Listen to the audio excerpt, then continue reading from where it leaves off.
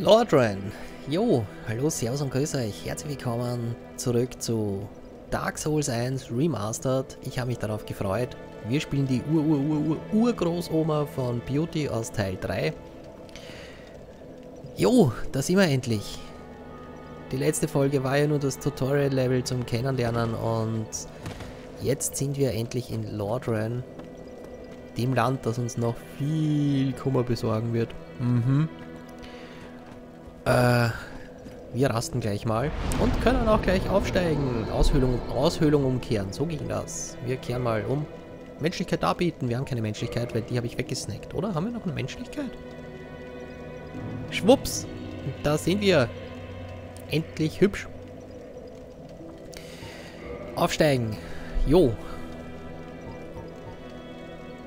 Das ist wieder die Qual der Wahl. Wir spielen ja Bettler als Charakterklasse. Also wir fangen wirklich beim Minimum an. Aus dem Grund würde ich fast mal sagen, Vitalität kann nicht schaden.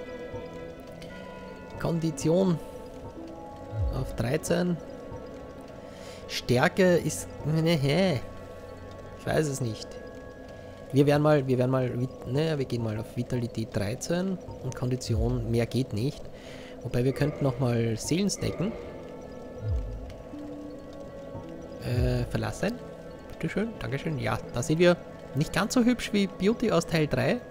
Ein bisschen bausbäckig. Aber trotzdem. Gut, Rundumblick ist ja die äh, remasterte Version. Ähm, Teil 1 habe ich etwas dazu er erwähnt. der, der Zensurbalken ist taktisch günstig gesetzt, ja, muss man sagen. Aber es sieht schon sehr hübsch aus. Ich freue mich drauf, was uns alles erwarten wird, werden wir in den nächsten Folgen sehen. Hey du, junger Mann, do we have here? You must be a new arrival. Let me guess. Fate of the undead, right? Well, you're not the first. But there's no salvation here. You'd have done better to rot in the undead asylum. But too late now. well, since you're here, let me help you out. There are, actually, two bells of awakening. One's up above in the undead church. The other is far, far below, in the ruins at the base of Blight Town. Ring them both, and something happened. Brilliant, right? Not much to go on, but I have a feeling that won't stop you. So, off you go. It is why you came, isn't it? To this accursed land of the undead? Jo, lasst uns die Glocken läuten. What? You want to hear more? Oh, that's all we need. Another inquisitive soul. Well, listen carefully then. One of the bells is up above in the undead church, but the lift is broken. You'll have to climb the stairs up the ruins and access the undead burg through the waterway. The other bell is back down below the undead burg, within the plague-infested Blight Town. But I'd die again before I step foot in that cesspool. Und wieder schon einfach so die Anspielungen auf die fürchterlichsten Gebiete in dem Spiel Korn. Richtig geil. Hell, what is it now? You ask too many questions. Alter, du sitzt da seit Jahrhunderten und rottest vor dich hin und dann kommt ein bildhübsches Wesen und will mit dir reden und du sagst, was jetzt? Muss ich wieder reden? Hm? Was ist denn? Na dann. Walk. Watch me walk away. Okay, so. Und ja, das ist der Beweis, warum das Leveldesign in Dark Souls 1 so großartig ist. Unser erster Weg wird uns da hochführen. Wir können aber durchaus ohne weiteres, und das sollten wir sogar, weil da unten sitzt jemand, mit dem sollten wir plaudern, diesen Weg weiter verfolgen, der uns direkt in eine Gegend bringt, die, ich sag's mal so, wir sind einfach zu schwach. also es hindert uns niemand daran, da weiterzugehen. Aber ja, unsere Skills hindern uns. Wir werden das Step by Step, so wie es eigentlich mir leichter fällt, durchspielen? Keine Antwort, sie kann nicht sprechen. Ist das Flakon verstärken? Reden. Ja, wir benötigen ihre Seele, damit sie mit uns redet. Das ist die Feuerhüterin. Wird für die nächsten Folgen unsere beste Freundin werden. Und gut, sehen wir uns hier mal um. Da gibt es was zum Looten. Menschlichkeit drei Stück. So. Ich muss mal selber kurz die Orientierung zurückgewinnen. Genau, hier können wir hochgehen. Ist jetzt auch nicht ganz leicht. Zu dem Vogel kommen wir später. Viel später.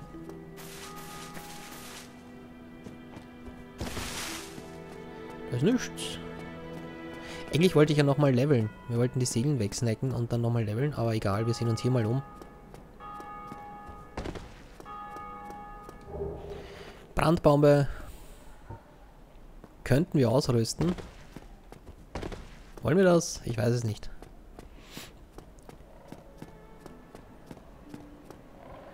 Gut. Da muss ich jetzt aufpassen, ich kann mich nicht mehr erinnern. Das entwickelt sich zu einer Dreiergeschichte, die richtig tragisch ausgehen kann oder eigentlich für Dark Souls Verhältnisse gut ausgehen kann. Ich, boah, ich habe es damals beim, beim neuen New, New Game Plus, habe ich es richtig gemacht. Man kann da relativ schnell verkacken, wir versuchen es nochmal.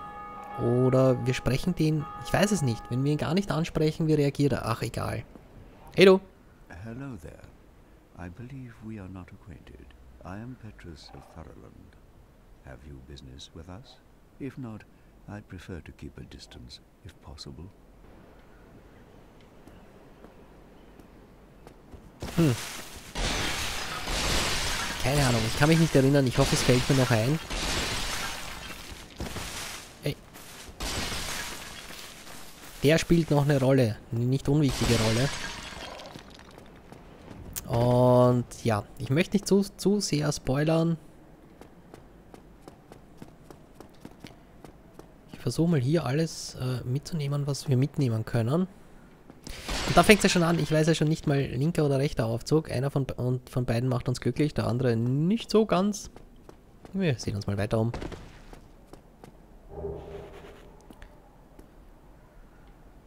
Seelen mitnehmen. So, springen können wir auch noch. Äh, au. Naja. Könnten wir, wären wir gut. Mir fehlt da aber noch jemand in der Szenerie. Er sagt ja auch, leave us alone. Gut, sehen wir uns die nächste Abteilung an.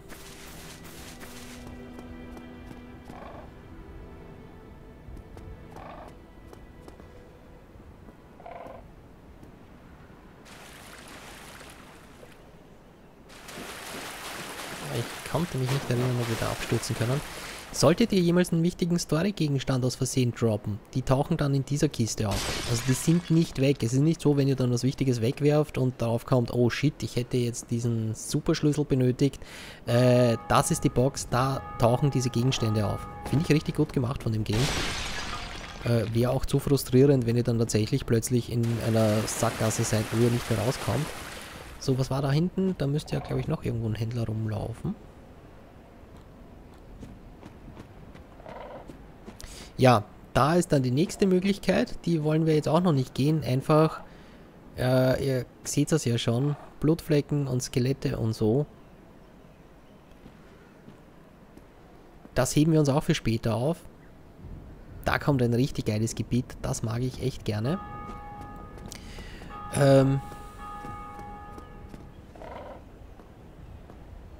War hier noch etwas?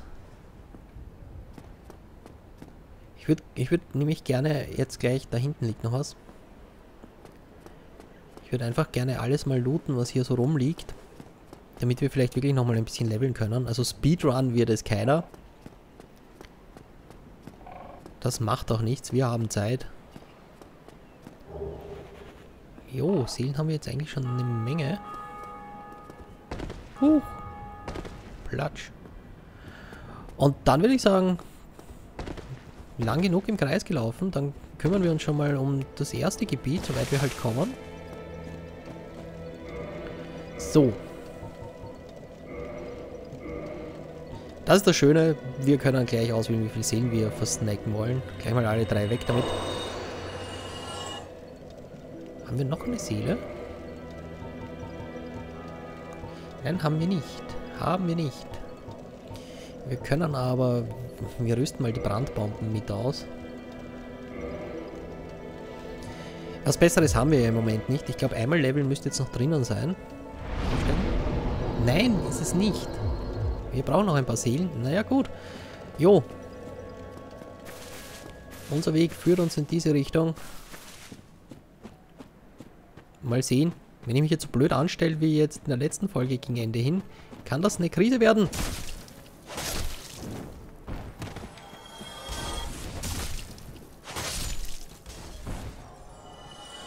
900... Ja, merken hätte man sich müssen, wie viel Seelen ich benötige. Ich sollte mich mehr konzentrieren beim Spielen, glaube ich. Hey, oh shit. Uhuhu. das war mehr Glück als Verstand. Ich meine, das wäre auch ein richtig...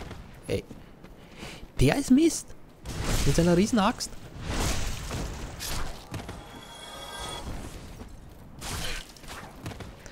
Ja, ich check das mit dem Parry nicht. Das ist aber, das ist tatsächlich eine, eine,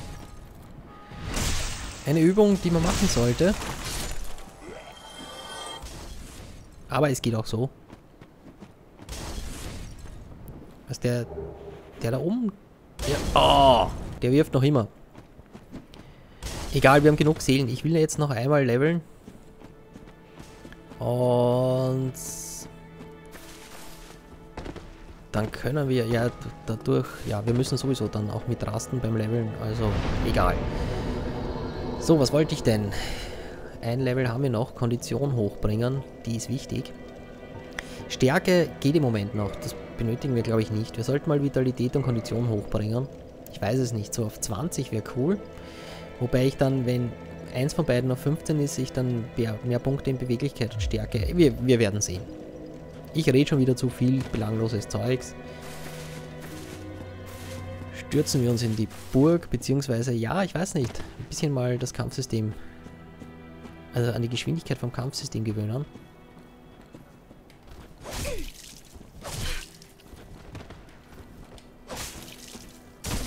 Ich kann das mit Parry nicht. Das geht einfach nicht.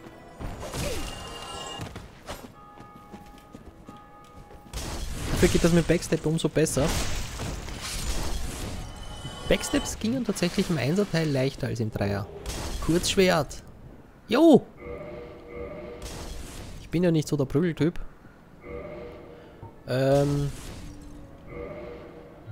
Nee. das.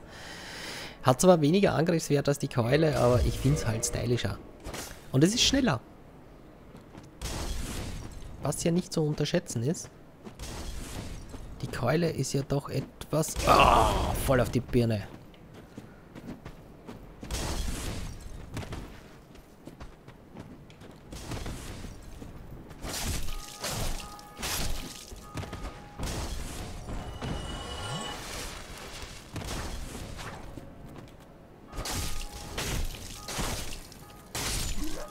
Da gehen die Angreifer einfach viel schneller, also macht das gar nichts, dass die im, im, im Prinzip weniger Schaden anrichtet. Weil ihr halt schneller Schaden anrichten könnt. Fall da runter! Echt jetzt? Jetzt fällt er runter. Ja, gut.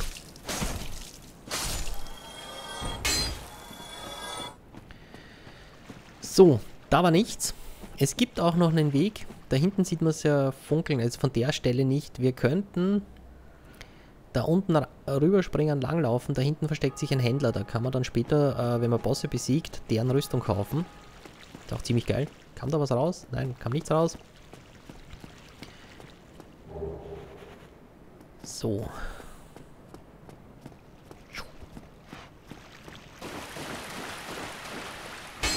Ah, ja, genau.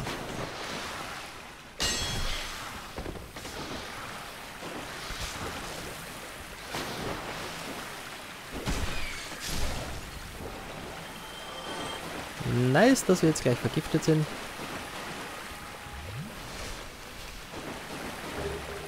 Und das ist etwas, das funktioniert in Dark Souls 1 besser als im 3er oder hat immer besser funktioniert. Einfach, wenn ihr in der an einer Wand steht, dass sie nicht schlagen kann. Macht ja durchaus Sinn. das, das Feeling hatte ich im Dreierteil nicht so oft. Also ich hatte den Eindruck, oh geil, die Ragdoll-Dynamik ist wieder da. Sie bleiben wieder an uns hängen. Wir werden wieder einen ganzen Rattenschwanz von Gegnern mitschleppen. Ja, blöd ist, dass uns die Ratte erwischt hat. Wir werden jetzt den ganzen Estus verpfeffern, weil wir vergiftet sind. Das finde ich etwas kacke, muss ich zugeben. Grünes Moos haben wir nicht.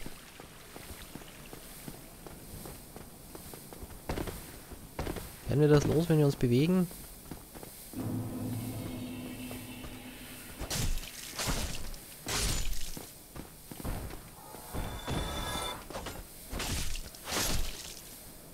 So. Ich muss halt immer den Lebensbalken jetzt im Auge behalten. Das ist blöd. Die Ratte hätte uns nicht erwischen dürfen. Es kommt halt nicht gut, wenn wir gleich sämtliche Estus-Flakons verballern.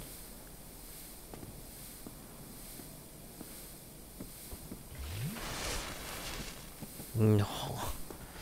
Das ist echt ein super schlechter Anfang. Naja.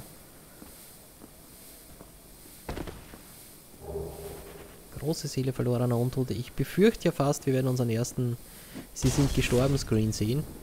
Ey, wer wirft denn da schon wieder nach uns? Ihr Penner!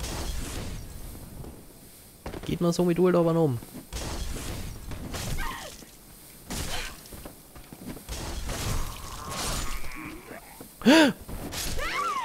Nein!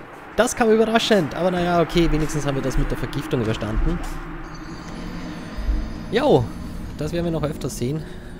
Spätestens bei Ornstein und Smaug werden wir das zu oft sehen. Und das war's mit der hübsch, mit schön sein und so. Naja, gut. Aber es ist ja, wie gesagt, Dark Souls gehört ja dazu. Das Sterben ist Programm.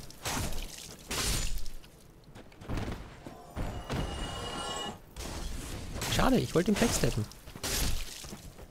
Dich werden wir backsteppen, ha? Komm her. Und vielleicht übe ich mal off... Au!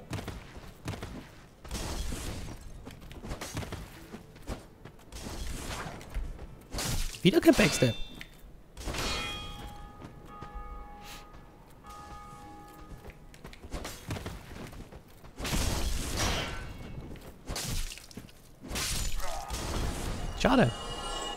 Wollte das so gern hinbekommen. Aber wir können, nachdem wir gestorben sind, wir können mal da hinten looten. Und zwar laufen, laufen, laufen, laufen, laufen, springen. Jo. Und dann einfach da lang. Das war das, was ich euch vorhin... Was ich vorhin meinte... Oh, oh, oh, oh, vorhin meinte. Da sitzt dann später ein Händler. Jetzt haben wir nur den Ring der Opferung. Was kann denn der? Kann ich mich nicht erinnern.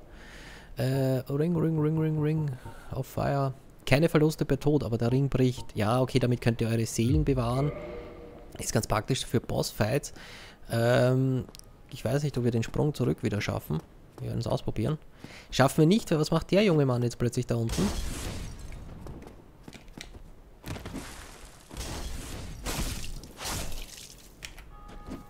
Zack. Die Bösartigkeit siegt. So, die Ratte sollten wir so attackieren im Tunnel. Dann haben wir mehr Chancen, dass sie uns nicht erwischt und wir gleich wieder instant bitterbös vergiftet sind.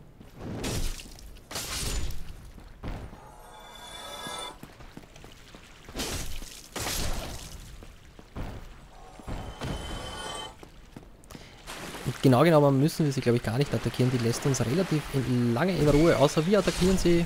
Egal, Seelen sind Seelen. Ah. Jo, und das, was Dark Souls 1 ja so schwer macht, ist tatsächlich, dass die Bonfire sehr weit auseinander sind. Also beim nächsten Fehler, den ich mache, müssen wir wieder beim letzten Bonfire beginnen und das kann schon ein sehr langer weiter Weg sein im Einzelteil.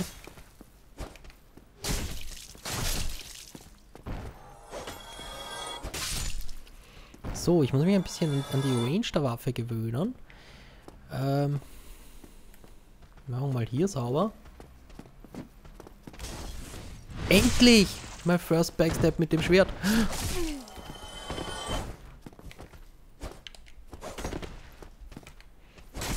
wir benötigen unbedingt eine Rüstung. Sie springt mir zu weit. Ich kann das nicht kontrollieren. Ich habe Angst, dass ich irgendwie demnächst äh, kopfüber in den Abgrund springe. Was nur eine Frage der Zeit ist, bis das äh, passieren wird. Und im Einserteil hat sich hat sich's, glaube ich, relativ oft ausgezahlt, die Kisten kaputt zu machen. Aber selbst wenn nicht, es macht einfach tierisch Spaß. Es macht so viel Spaß. Oh. Ja, und das Springen, das muss ich erst, da muss ich mich erst wieder dran gewöhnen. Die springt einfach viel zu weit. Die, wie ein Flummi. So, da war irgendwo ein Händler.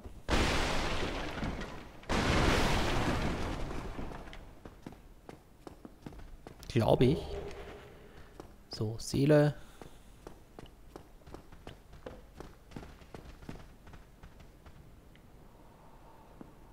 Ich will nur aufpassen, dass uns jetzt keiner in den Rücken fällt. Das wäre unangenehm. Oh, Kamera! Mach mich nicht fertig. Ich glaube, ich habe diesen Sprung noch nie geschafft. Ich versuche es jetzt noch ein, zwei Mal. Wenn ich es nicht schaffe, gehen wir weiter. Vielleicht mit noch mehr Anlauf. Hallo. Jo, das ist halt Dark Souls. Lauf, lauf, lauf, lauf, lauf, lauf, lauf, lauf. Nope, ich schaffe ihn nicht. Dabei, wir haben nichts mehr an. Eventuell Beweglichkeit oder so noch, noch leveln. Ich komme nicht drüber. No way. So, wollen wir unsere Seelen holen, die da unten jetzt irgendwo rumgammeln? Da sind sie. Ich kann mich auch nicht mehr erinnern, wo uns der Weg hinführt.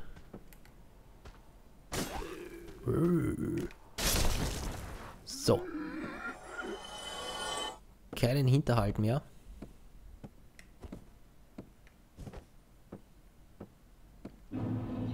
Ja, wir sind ja doch ziemlich... Achtung, vor dir links. Was ist links? Nichts ist links.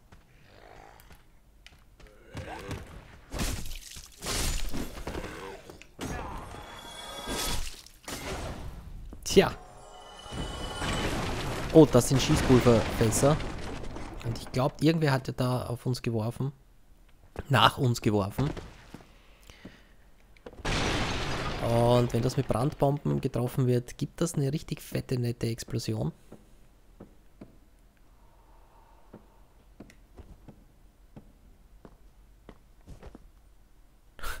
Ich sehe euch.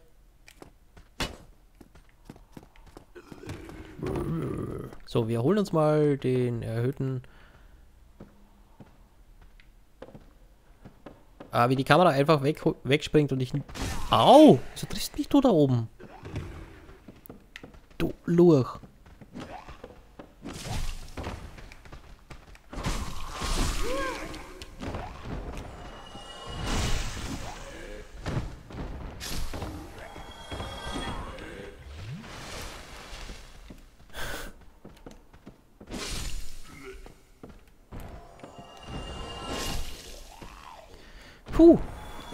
Das kann... Also ich glaube, das wird schwieriger, als ich dachte. Ich muss mich echt tatsächlich massiv an die Steuerung gewöhnen. Das ist doch ein Unterschied zum Zweierteil und zum Dreierteil vor allem. Abfall. Nice. Hat sich ausgezahlt. Kann ich mich da noch irgendwo fallen lassen? Ja, und das ist nämlich das Geile. Da unten, das ist auch schon wieder ein, ein, ein, ein Abschnitt, der uns in ein richtig spannendes Gebiet führen wird. das einfach alles zusammenhängt. Da hätten wir noch was zum Looten. Also ich glaube, allein in dem Gebiet könnten wir 10 Folgen, naja, ich will es nicht verschreien, werden wir wahrscheinlich, weil ich so oft sterben werde. Aber da unten werden wir auch noch rumlaufen. Also im Prinzip alles, was man hier sieht, ist auch tatsächlich erreichbar. Und das machte Dark Souls 1 so unglaublich genial. Wir müssen uns dann da fallen lassen, dann hätten wir die Runde erledigt. Ich glaube, dann haben wir auch alles, was da zu looten gibt. Menschlichkeit. Wollen wir menschlich sein? Ich weiß es nicht. Aushöhlung umkehren. Dazu müssen wir ja... Ja, okay, dann müssen wir Bonfire und so. Wir, wir, wir heben uns das auf. Wir heben uns das auf und schnetzeln uns da mal weiter durch.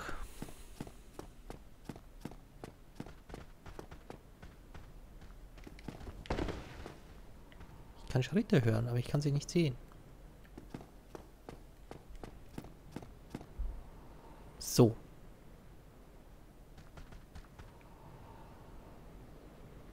Hängt da noch wer? Wie kann man denn da hoch?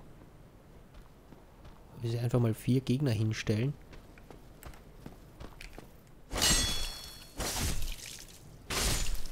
Tja. Der war aber wohl etwas übereifrig. Hüllenkriegerhelm. Ja, wir, wir, wir laufen einfach ohne Helm weiter. Macht die Sache spannender.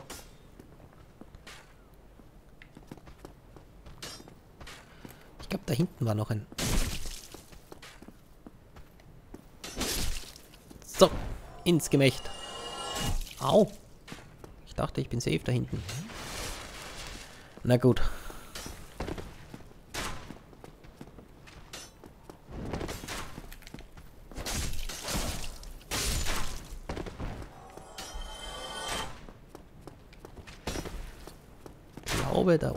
Bonfire.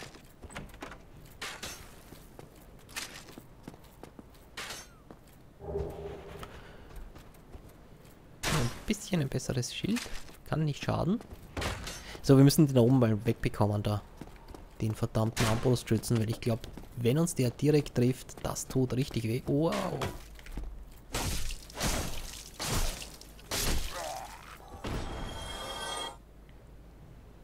Da ist das Bonfire.